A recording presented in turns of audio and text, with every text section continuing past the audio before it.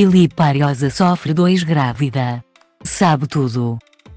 Filipe Ariosa está grávida pela primeira vez, e quase a dar à luz, partiu o braço. A jovem atriz mostrou-se de braço ao peito nas redes sociais. A novidade acerca da gravidez foi dada em pleno Globos de Ouro.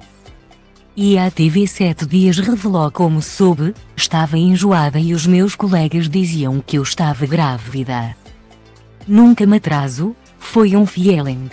Descobri quando estava a gravar com o João Reis e a Sandra Faleiro em exteriores e foi a Entretanto parti o braço num acidente, e ficamos a perceber tudo esta tarde no programa Júlia.